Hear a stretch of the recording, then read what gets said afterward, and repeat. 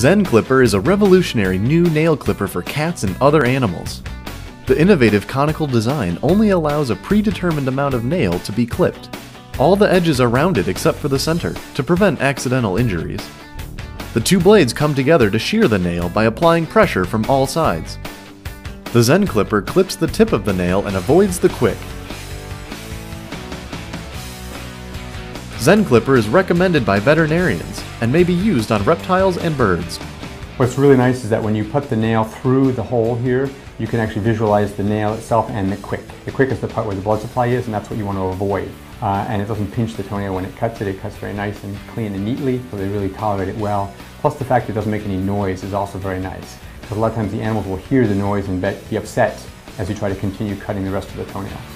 Even if the animal moves when clipping, it will still be safe for their nail, and you won't harm your hand.